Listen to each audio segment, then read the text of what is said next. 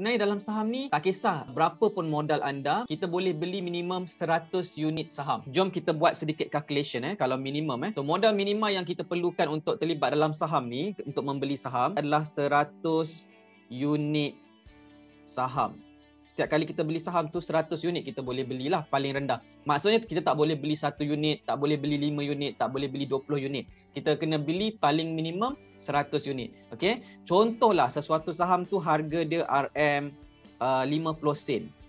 Ha, okay, harga dia 50 sen, kita tulis macam ni 50 sen. Alright, so macam mana kita nak kira modal kita? Okay, modal adalah sama dengan 100 unit saham tu darab dengan 0.500. Ha, dapat dia dapat berapa? Jawapan dia 50. Okay, so itulah modal kita untuk membeli saham 100 unit. Okay, so dengan RM50 anda dah boleh dah beli saham pertama anda. Okay, apatah lagi kalau anda ada RM500. Anda boleh memulakan langkah dalam pelaburan saham di Bursa Malaysia. Okay, cuma saya nak uh, ingatkan kalau kita bermula dengan modal yang rendah, janganlah expect untung besar pula. Takkan dengan modal apa RM50 ni, kita nak buat profit seribu ringgit pula kan? Ha, dia tak berapa logik lah kat situ. Okay, jadi kita fokus kepada uh, memulakan langkah dengan modal yang rendah ni untuk kita faham selok belok ataupun asas jual beli saham. Lepas tu kita dah lebih faham maka kita akan start scale up lah. Okay, daripada RM500 jadi seribu ringgit modal kita. Okay, dari RM1,500 uh, jadi RM1,500, kemudian RM2,000 dan seterusnya lah. So datang daripada mana modal?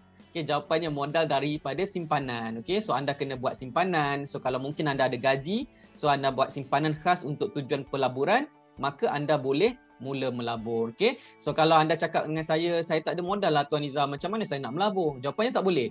Sebab asas pelaburan, okay, sebab asas pelaburan adalah kita uh, menggerakkan mod, uh, apa ni duit untuk menghasilkan lebih banyak duit. Okay, kita buat duit bekerja untuk kita. Jadi first kali kita mesti ada modal lah untuk kita terlibat dalam saham ni. Jadi kalau anda belum ada modal, kerja anda adalah untuk kumpul modal terlebih dahulu. Okay, so buat uh, setiap bulan simpanan secara konsisten, mungkin RM200, RM500 sebulan daripada gaji anda.